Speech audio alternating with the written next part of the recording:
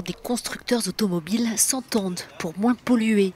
Ça se passe en Californie. Ce sont quatre poids lourds qui ont décidé de s'allier pour contrer l'administration Trump.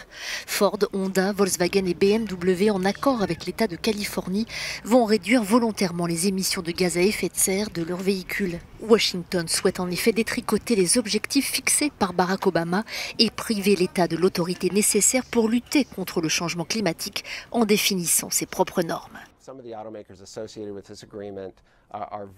Certains des constructeurs associés à cet accord occupent une place prépondérante dans le monde, notamment Volkswagen, Honda et BMW.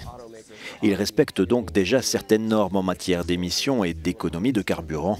La Chine et l'Europe en particulier ont une longueur d'avance sur la réduction de leurs émissions de gaz à effet de serre.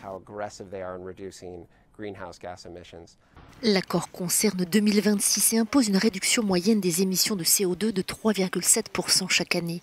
Les nouveaux modèles devront atteindre une consommation équivalente à environ 4,7 litres au 100 contre 6,3 en vigueur actuellement.